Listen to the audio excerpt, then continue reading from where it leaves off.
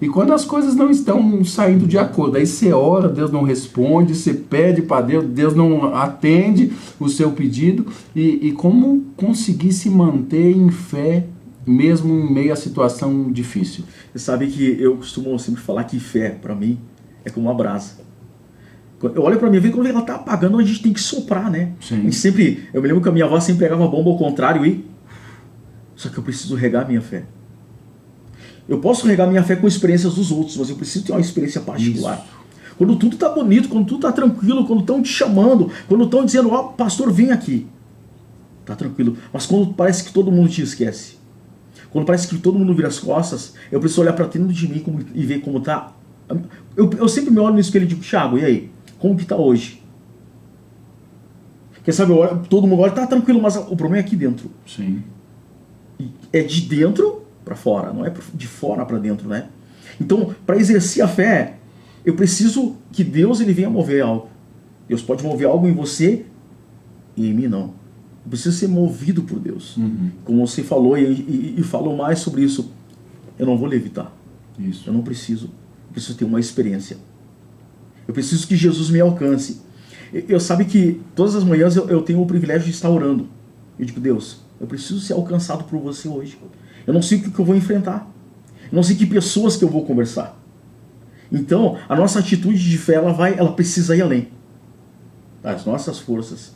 Sempre costumo falar em casa, minha esposa diz, não, mas como que nós podemos acreditar em Deus? É confiar nele. Nós precisamos confiar, né? Mesmo que a situação não, não esteja do teu agrado. Mesmo que não esteja do meu agrado, né? A verdadeira fé vem para fora, no caso, na hora mais difícil. Mais difícil. Ela tá ali, né? Tá ali. E, e muitas pessoas, o incrível é que muitas pessoas querem te mostrar. Eu quero te mostrar a minha fé. Sim, Mas você vai dizer, Tiago, para mim não vai valer nada, é tua fé. sim. Ah, mas eu vou tirar meu relógio na parede. Não, calma, é tua fé. E a fé não se resume a isso. Jesus não vai descer, não vai pegar meu relógio para não pegar, não é. O livre-arbítrio vai tirar, vai quebrar. Sim. A fé, a fé é, é- é- ela, ela é movida pelo Espírito, né? E quando o Espírito está em nós. Isso, eh, quando o Espírito está em nós, eu, eu entendo e estudando as escrituras que, que ele sara, ele cura. Aí vem o sobrenatural, o impossível que Deus quer para nossas vidas, né? Então é, se a gente parar para falar em fé e impossível, a gente tem um leque nas nossas mãos Sim, vai longe. vai longe. E as pessoas dizem, ah, como que. Eu, eu vou procurar alguém para conversar. Hoje nós temos né, a facilidade. A Bíblia está aqui no meu celular. Sim. Ah, mas muitas pessoas me dizem, mas eu me perco quando eu tô e, e vejo outras coisas. Então vai para a Bíblia. Se a gente compra um aparelho novo, tem um manual. Com certeza. E o nosso manual de vida é a palavra, né? Sim, sim. Então nós precisamos crer e, e muitas pessoas. Um, um rapaz esses dias me parou e disse: Tiago, já foi escrito há dois mil, três mil anos atrás. Acho que não tá velho isso daí? Tipo, não, pra mim é novo. Se renovou, é mais novo que o jornal de amanhã. É o mais novo porque ela sabe o que vai acontecer, né? Então, tipo, a gente precisa acre- acreditar, confiar e deixar que Deus venha trabalhar. Sim. E, e, e Tiago, e a fé, como você falou, né? Ah, você meio ficou meio assustado, será que é isso mesmo? Para cuidar do, do Ministério Sim. Infantil e tal.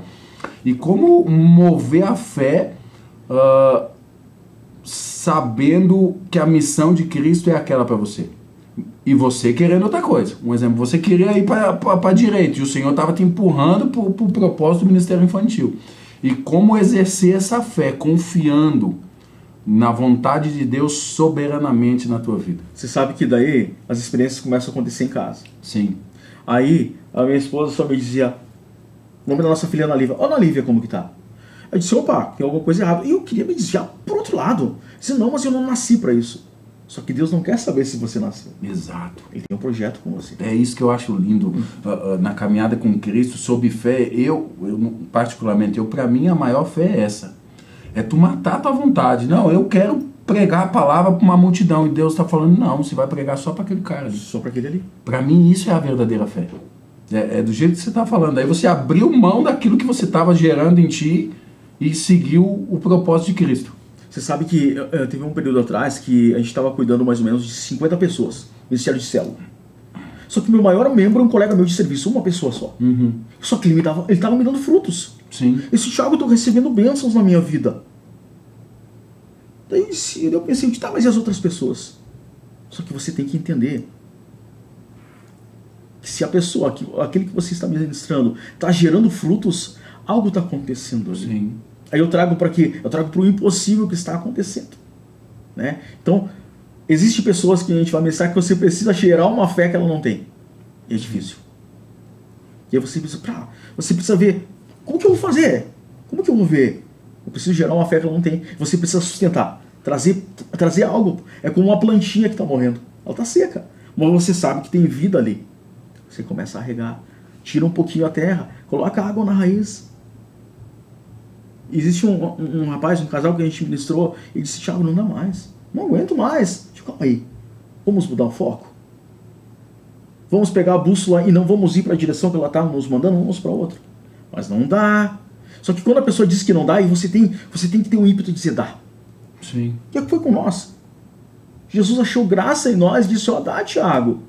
Dá, Fábio, dá para seguir. Porque ele já tem um não, aí tu vai se juntar para concordar com ele, não, não adianta. Não, né? não, com certeza. Então, assim, ó, o, o melhor, o melhor de Deus para nossa vida acontece quando nós temos fé. E quando não, nós não temos também, porque Jesus nos empurra lá para frente.